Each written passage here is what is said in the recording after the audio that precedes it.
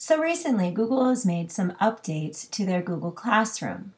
So here I am in my classroom dashboard. If you're not there, just go ahead and type in classroom.google.com in your GAFE domain. So here I have my Writing ELD classroom. So I choose it. And you'll notice that down here in the right hand corner, I now have a plus sign. This allows me to now reuse a post that I've had in the past, create a quick question where the students can answer, create an assignment, or create an announcement.